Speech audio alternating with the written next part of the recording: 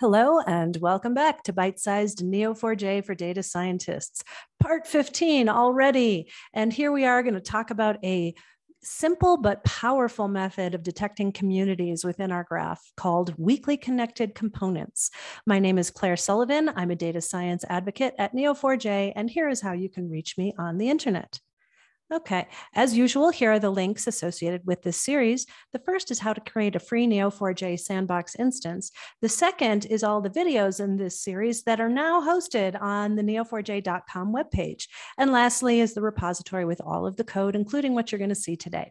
But special bonus link today, we have a free book that you can go download. It's not new, but um, I just wanted to call it out. It's Graph Algorithms, Practical Examples in Apache Spark and Neo4j by my friend friends Mark Needham and Amy Hodler. It's put out by O'Reilly. And the data we're going to use today is actually from that book. So let's dive right in. It'll help today if, uh, if you have the repository open and part 15.sql in the SQL queries subdirectory. Um, we're going to go get some data from that book. And um, so I'm going to be copying in here first lines two through uh, four in the query file. And you can see I'm just going and I'm pulling a CSV file off of GitHub. Okay. And the second one is loading in the relationships, similar fashion, lines seven through 11. Okay, and here we go. Let's now, let's take a look at what this graph looks like. What the graph is, is it's a, a looking at dependencies between Python packages. Okay, so let's blow that up a bit. Um, and if you're a Python user, this isn't going to be a huge surprise. This is obviously a very small subset of Python package dependencies, but here we can see NumPy, and I've got a bunch of things depending on it, like matplotlib and spaCy. I've got six. Six has a bunch of things depending on it. But the thing I want you to take away here is that I've got three distinct clusters or communities. And we want to try and detect those. Now, obviously, this is a very simple graph. If we had a larger graph, this is, this is going to be a bit more intense. Now, weakly connected clusters is really good at doing exactly what it says, identifying those clusters that are not weakly connected. So if I had a graph that was really dense, like say around some sort of central core, what weakly connected clusters will do is will find that central core as one giant cluster, but then all of these, all the side clusters, it will also identify identify as its own, um, as their own. So let's do the very first thing that we always do whenever we're going to use something in the Graph Data Science Library or GDS. We're going to create our in-memory graph, calling it dependencies. Now, this one is super simple. I've got all nodes and I've got all relationships. Again, go back and watch part 12 of this series if you want a refresher on how that works.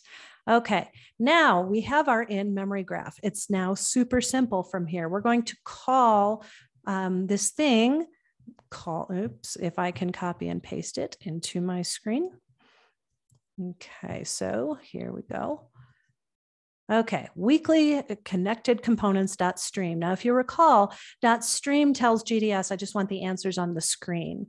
Okay, and um, remember, we're we're translating. There's this in-memory space of IDs that don't correspond to anything physical. So when we want to get something back that you know corresponds to our actual graph, um, we use this GDS util as node to bring it back in. And so let's give that a run. And here's what we get. Okay, so I get the name of each of my packages, and I have a component ID, which is just some integer it is that GDS assigns to each of the packages. So I can see that I've got a whole bunch of packages here that are in component number zero. And then I've got component five, which has two packages. And then I see, you know, some more here um, as a third community. And this is giving me hope because remember, we had three distinct clusters in that graph. So let's just look at it one last time. Um, um, I just want to show here all these JPy client console things. Those should, those should all be associated with something like Jupyter. Um, and we can see that's true.